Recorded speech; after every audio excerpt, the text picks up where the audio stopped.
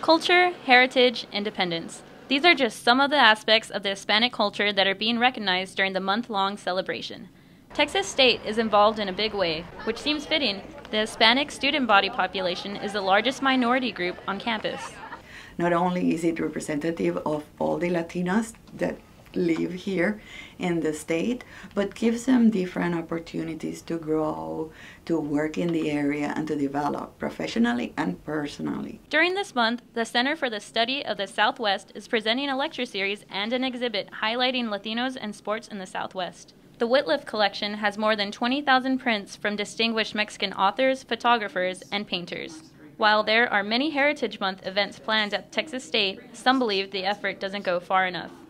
Uh, I, th I, think that uh, you know we can't be relegated to just a month. You know we we're we're, we're year round, and I think I celebrate or my identity doesn't stop in a month or doesn't begin in a month. Texas State alum Lyndon B. Johnson established National Hispanic Heritage Month, which will end on October 15th. For Bobcat Update, I'm Claudia Torres.